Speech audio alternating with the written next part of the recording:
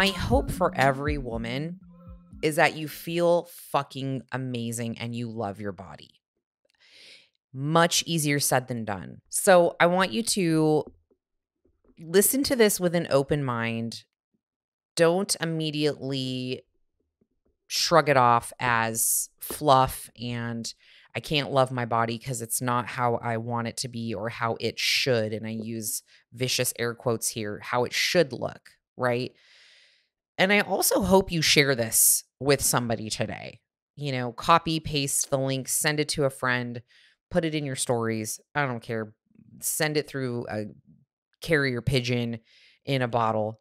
Get it somewhere to somebody because more women need body positivity spoken to them in their ears.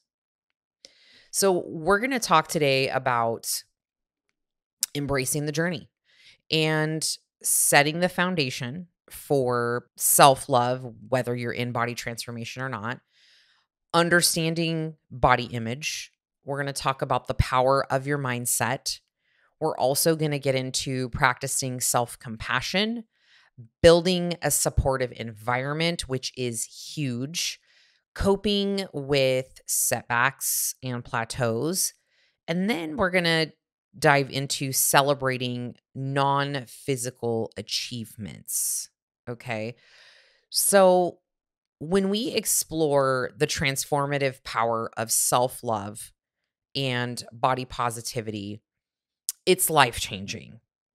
Now, this is coming from someone who grew up in the time where we i mean it's it's worse now because we're inundated with social media and images of unrealistic you know expectations and such but in a time where growing up we you know i was comparing myself to magazines girls in the magazines and not looking like the girls in magazines and not feeling good enough right? That was something that started very very early on. And i really want to get into today the fact that embracing your body whether you have achieved your said goal or not is a journey but it is one that can be done in positivity and speaking positively about your body.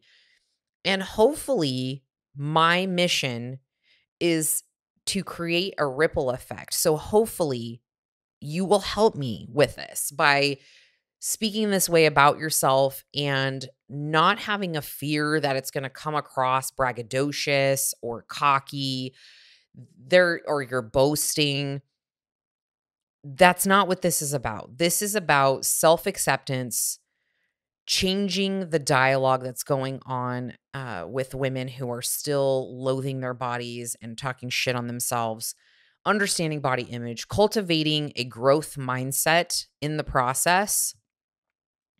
Practicing self compassion. You have to have a lot of self compassion as you move through different phases of your life, right? Like I'm entering into my later 40s definitely different than when I was in my 30s and I'm compassionate about that. I don't want to be 30. I I don't expect to look 30, right?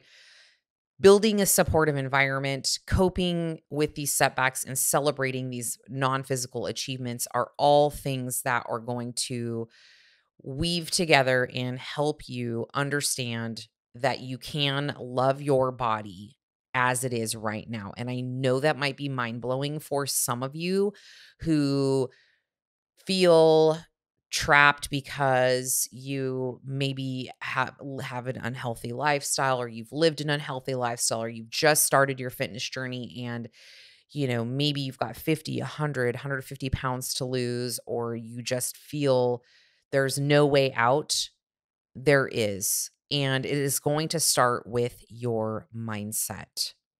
Firstly, setting the foundation. There are different types of body transformations. So that can be various changes, such as weight loss, muscle gain, post pregnancy recovery, or just simply becoming healthier. Like I said, you could be in any part of this journey of your life. And even for my girls out there that are athletes and competitors and they're going through the metamorphosis that is extra lean physique that's on stage, coming out of that is quite the challenge.